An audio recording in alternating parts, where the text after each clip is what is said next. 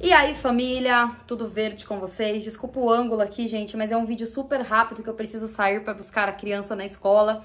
É, aconteceu aí na, nessa tarde de, de quinta-feira, de quarta-feira, uma reviravolta é, envolvendo Palmeiras, Chelsea e até mesmo agora o Vasco. E eu vou explicar para vocês o que tá acontecendo. Deixa o like, se inscreva no canal e ativa o sino de notificação aí para não perder nada também. E quero indicar aqui para vocês, gente, a 1xBet. Gosta de fazer apostas esportivas? Gente, vai lá correndo apostar na 1xBet. Eu já postei hoje na vitória do Verdão, Palmeiras e Bragantino no Allianz Parque. Então corra lá Aposto que eu tenho certeza que tu vai ganhar uma graninha aí, porque com certeza vai dar Palmeiras, né? Estou confiante.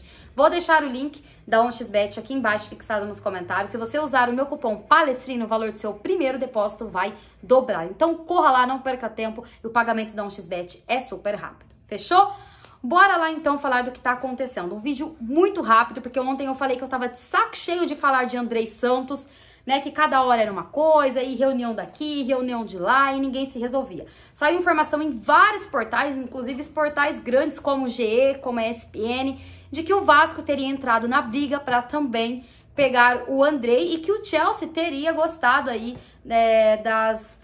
Uh, das conversas, das tratativas com o Vasco, porque segundo algumas pessoas ali do Vasco, né, é, os dirigentes e tudo mais, o Vasco queria o Andrei nem que fosse para jogar um jogo, então o Vasco não tá nem aí se for para ficar com o Andrei até o meio do ano, pode liberar ele para o Mundial. Assim foi é, em todas as informações de todos os lugares que eu li, que o Vasco não tá nem aí para que para tipo pro tempo que o que o André vai ficar, se ele precisa jogar o Mundial sub-20, que ele, que ele apenas quer o Andrei aqui, nem que for por um jogo. E aí, gente, eu de verdade não sei mais o que dizer sobre isso.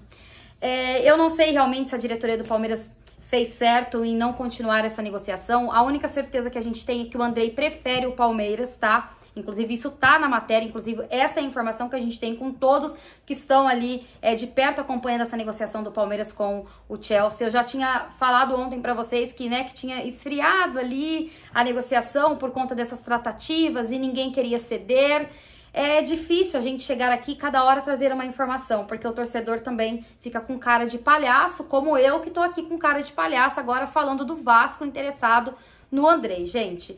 Eu quero saber a opinião de vocês, já que tem muita gente falando que ele logo desembar ele desembarcou no Rio de Janeiro, né? E não em São Paulo. Então, é, eu não sei, eu não sei de verdade o que tá acontecendo mais. Eu vou aguardar agora, se caso ele vier pro Palmeiras, o anúncio oficial. Se ele não vier pro Palmeiras, e for anunciado no Vasco, eu trago aqui para vocês, né, ó, gente, acabou a novela, enfim. Eu sei que o torcedor não merece passar por toda essa situação e eu vou reforçar o que eu falei no vídeo de ontem, porque o público é muito rotativo. Se o Palmeiras tivesse contratado um substituto pro Danilo, a gente não estaria ali é, dependendo de Chelsea, enfim. O Palmeiras não teria a pressa de ter um jogador agora, né, que a, a ideia... Eita, tem um negócio aqui no dente, perdão a ideia do Palmeiras contratar o Andrei para substituir o Danilo, que é um jogador que chegaria para ser o titular. Então, o Palmeiras não teria pressa se tivesse pensado já em ter comprado outro jogador. Se o Palmeiras tivesse outro plano. E aí, ah, não deu certo com o Andrei? Ok, a gente já tem o nosso. Agora fica nessa graça aí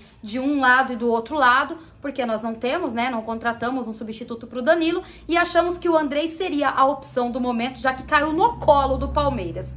Eu não sei mais o que falar sobre essa, essa negociação. Quero saber a opinião de vocês, o que, que vocês acham aí do Vasco ter entrado na briga, mas acho que mesmo assim o Palmeiras leva. O que, que vocês acham, gente? Eu não tenho mais uma opinião, de verdade. Tamo junto, vejo vocês um pós-jogo, tá, gente? Vai ser tarde? Vai. Vai acabar uma hora da manhã? Se você precisa dormir, assista amanhã. Não dependa da notificação do YouTube. Entra aqui no canal e assista meu pós-jogo que eu vou deixar gravado para vocês aqui no canal. Belezinha? Tamo junto, família. Vejo vocês até mais com informações do Verdão. Até mais. Avante palestra.